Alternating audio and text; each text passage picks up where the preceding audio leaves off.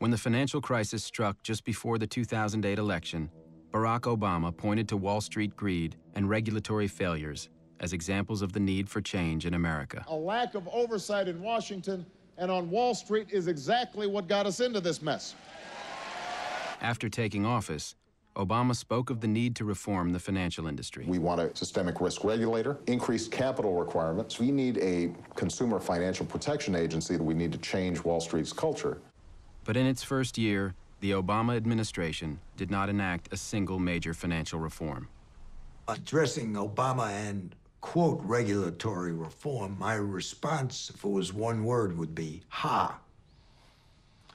There's very little reform. How come? It's a Wall Street government.